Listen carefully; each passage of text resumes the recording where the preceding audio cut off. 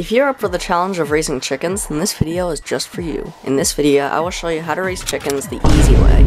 This took forever to make, so please consider subscribing. Anyways, on with the video.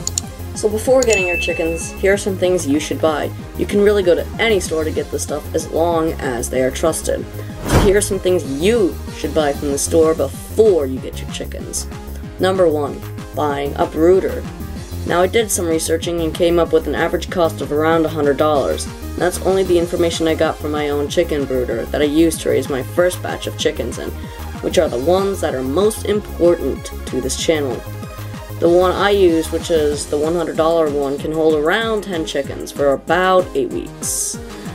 The price varies big time as to how long you plan on keeping them inside for. There is also another option.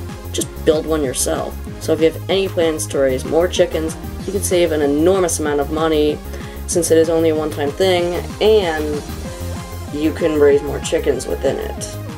Another thing that your chickens will need before you get them are waterers. Now there are two types I will be going over in this video, the small ones and the large ones. The small ones are much cheaper but come with a major price, that being the maintenance that is required.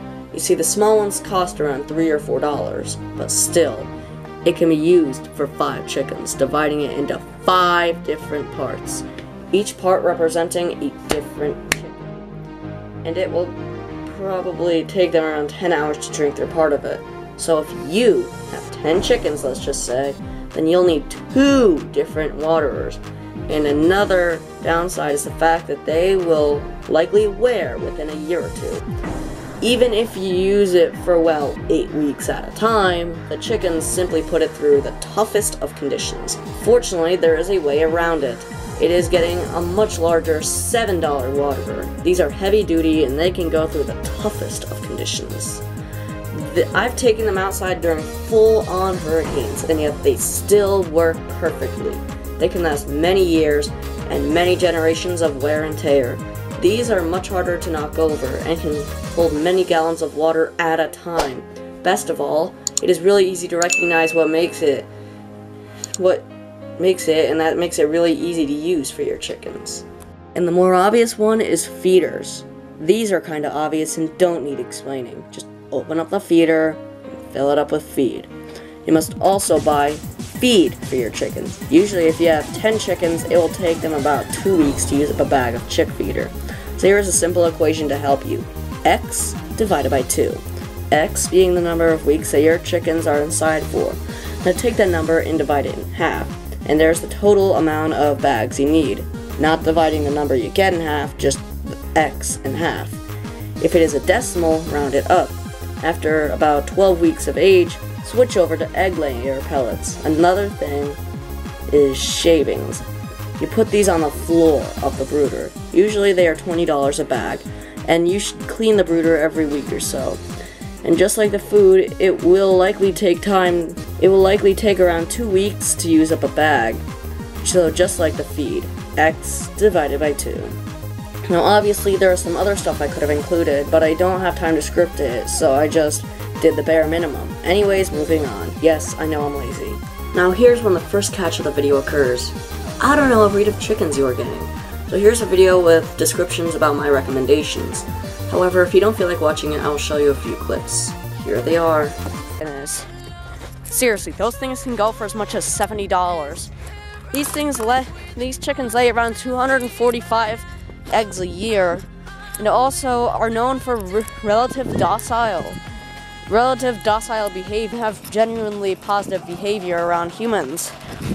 So if you really want a good breed for chickens, I'd highly recommend this one.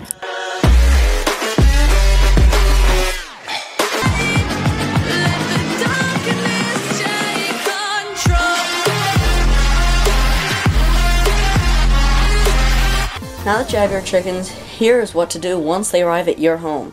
First of all, make sure everything is set up for your chickens, so that way they don't have to wait.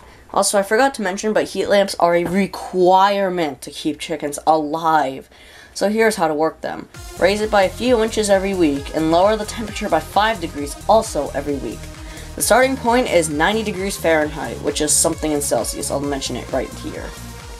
And after that, the temperature should drop. keep them inside until the temperature is lowered to around the outdoor temperature. Now, once they are in the house, here's what to do. More often than not, people are going to give your chickens in boxes, so it will be really useful to remove them carefully. Talk in high tone while gently placing the chicken down on the brooder floor. You might also want to sh show the chicken around the brooder, but beware, never hold the chicken upside down. While they are in their brooder, now is the time to build their future. You always want to make sure their future is set for them, and fortunately, there is a really simple way to do this. Just build their coop, really simple. Or is it? To learn more about that, I have a video linked in an iCard above. But here are some tips and tricks. Number one, always prioritize predator proofing the chicken coop and run. The trick is to imagine the predator, how it would get into your chicken coop or run, and then try your hardest to seal it off. From then, from them. And also, if you can't build a chicken coop, I would highly recommend getting someone to build the coop for you. Most chicken coops cost around one to three thousand dollars. Another thing is making the run to make it accessible while also making sure it's just right for your chickens. Always remember that you want a life that is suitable for your chickens, so always make sure the environment is right, while also making sure it is humanly impossible for any predator to get into your chicken coop or run. I may also suggest that you take the extra $400 and buy a trailer to put your coop on. So that way if a predator finds out where your chickens are, you have time to move them away from the threat, and so on and so forth. Next, now that your chickens are usually 8 to 12 weeks old, now you move them into their chicken coop. Here is how to do it. First, introduce them to the outdoors in sessions, usually lasting around 2 to 3 hours, to get them used to the outdoors and the air and their surroundings. Then move them outside.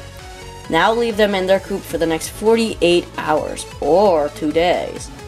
This will tell them where they're gonna need to sleep, also showing them where their food, water, roosting bars, and of course, their nest boxes are. And finally, egg laying. For most chickens, this begins at around 28 or 29 weeks of age, but others begin earlier and others begin later. Remember to make sure that you have nesting boxes installed properly and other things to guarantee eggs. Just remember, selling eggs is really hard.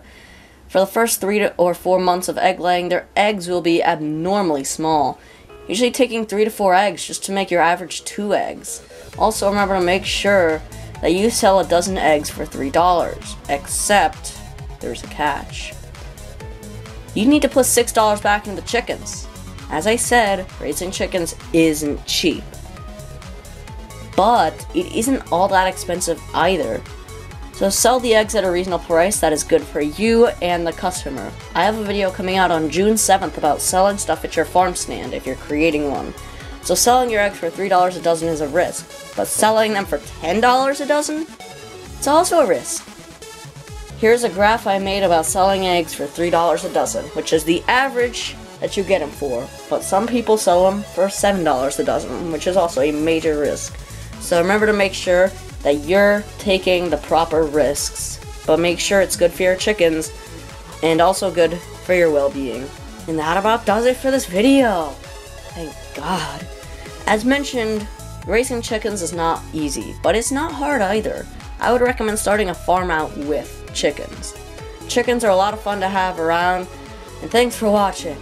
Have a nice day and subscribe. This took way too long.